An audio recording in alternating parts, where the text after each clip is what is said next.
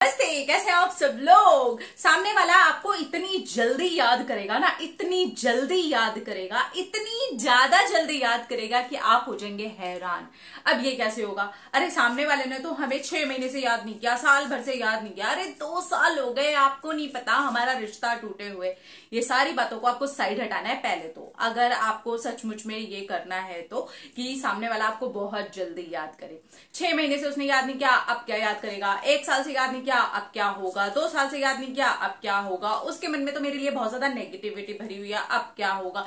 ये सारी चीज़ों से नहीं हो पाएगा, तब नहीं होगा। आपको क्या करना है? ये सारे के सारे कचरे को उठाना है और फेंक देना है कि भाई, कुछ नहीं है, कोई छह महीने नहीं, कोई साल भर नहीं, कोई दो साल नहीं, और कोई भी हमारी चीज़ें, हमारी बातें, वो कोई भी हो सकता है। आप किसी को भी अगर अपनी याद दिलाना चाहते हैं बशर्ते आप उनको जानते हो और वो आपको जानते हो। मतलब आप दोनों का एक दूसरे को जानना बहुत ज़्यादा ज़रूरी है। मैं याद के ऊपर बहुत ज़्यादा वीडियोस करती हूँ ना। एक्चुअली मैंने याद के ऊपर बहुत सारा काम किया हुआ है, इसलिए मैं वीडियोस करती हूँ और मुझे मज़ा भी आता है ये करने के लिए। मुझे इसके रिज़ल्ट भी मिले हैं और बहुत सारे लोगों को भी मिले हैं। तो कुल मिलाकर के ना, बहुत सारी चीज़ों के जो रिज़ल्ट होते हैं ना, उससे मुझे कुछ समझ में आता है कि हाँ यार, ये किया जा सकता है और तब आपको मिल जाता है एक बहुत बढ़िया वाला सोल्यूशन तो आपको क्या करना है। सारी नेगेटिव बातों को रिश्ता टूटा है, चीज़ें खराब है, अनबन हो गई है, कुछ नेगेटिविटी है, सारी चीज़ों को आपने बाहर फेंक दिया। अब आपको फुल ऑन हो जाना है पॉजिटिव सामने वाले इंसान के लिए, जिसको आपको उसको अपनी याद दिलानी है। नेगेटिविटी हटा के आप पॉजिटिविटी में आए प्रेजेंट में आ जाइए और फील कीजिए कि कोई समय की सीमा नहीं है। अभी हो रहा है, इसी वक्त हो रहा है जो। उस इंसान के लिए आपको ग्रेटफुल होना है, उन क्षणों के लिए आपको ग्रेटफुल होना है, जो भी आपने एक दूसरे के साथ में अच्छे बिताए हैं। इसीलिए मैंने कहा, आप दोनों का एक दूसरे को जानना बहुत ज़्यादा ज़रूरी है। आप दोनों एक दूसरे को जानते हुए होने चाहिए। तो जो क्षण, जो पल आपने एक दूसरे के साथ में अच्छे बिताए हैं ना, उन पलों को आप याद करना शुरू करें और उसके लिए ग्रेटफुल हो जाए। बिल्कुल ऐसे जैसे वो अभी हो रहा है। ठीक है? तो आपको अभी प्रेजेंट में उस चीज़ के लिए ग्रेटफुल होना है, एकदम हैप्पी हो जाना है। बिल्कुल अच्छे से, अंदर से आपको वो रिलैक्सेशन फील होना चाहिए। आपको लगना चाहिए कि आप अंदरूनी तौर पर बहुत ज़्यादा एकदम रिलैक्स फील कर रहे हैं। जब तक अंदर बहुत होगी आप बहुत ज़्यादा नेगेटिव फील कर रहे होंगे, आप बहुत ज़्यादा भागा दौड़ी जैसी चीज़ें फील कर रहे होंगे, ये भी थॉट चल रहा है, वो भी थॉट चल रहा है, वो दिमाग में आ गया, वो दिमाग में आ गया, तब नहीं होगा। आपको एक ही थॉट रखना है, एक ही इंसान रखना है, बिल्कुल क्लियर रखना है और ऐसे रखना है जैसे कि वो अभी अभी, इसी वक्त घट रहा है।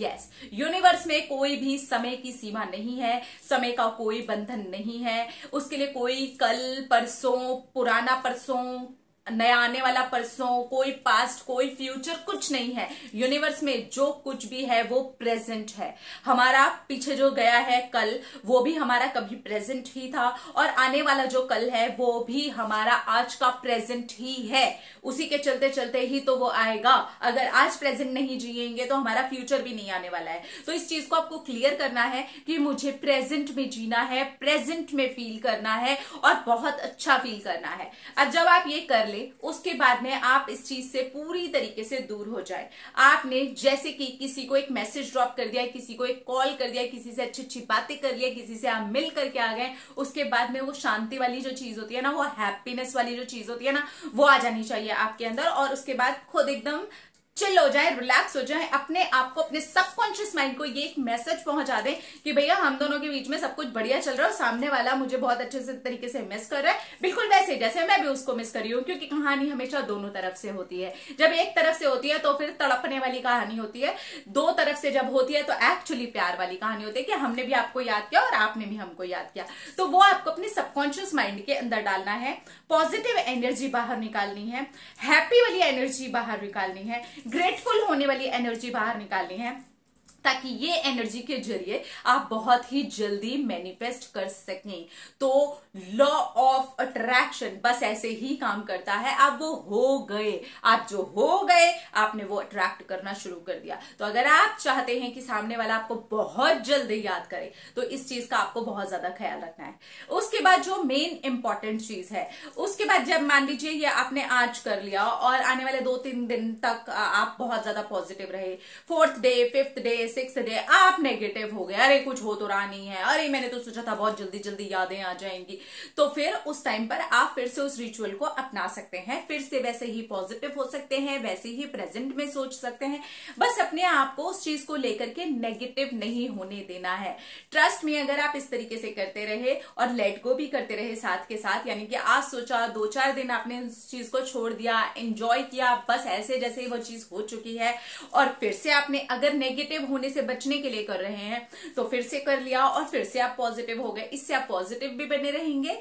थोड़ी सी आप एक्ट एज ए टेक्निक भी कर पाएँगे और इस तरह से आप बहुत जल्दी पॉजिटिव रहते हुए मैनिफेस्ट कर पाएँगे। सामने वाला आपको बहुत जल्दी तगड़े तरीके से याद भी करना शुरू कर देगा। तो इस तरह से आप सामने वाले को बहुत जल्दी पॉजिटिव वे में अपनी याद दिला सकते हैं। सामने वाला आपको सिर्फ़ और सिर्फ़ फिर पॉजिटिव वे में ही याद करेगा, क्योंकि आपकी जो एनर्जी निकल रही थी आपका जो मैसेज जा रहा था, वो हैप्पी जा रहा था, सामने वाले को थैंक यू बोलने के लिए जा रहा था, उन पलों के लिए थैंक यू बोलने के लिए जा रहा था, ताकि वही पल, वही दुनिया, वही चीज़ें, वही खुशी उसके भी माइंड में आए। ये तब होगा जब आपका खुद का सबकॉन्शियस माइंड उस वाली बात को लेकर प्रोग्राम हो चुका होगा।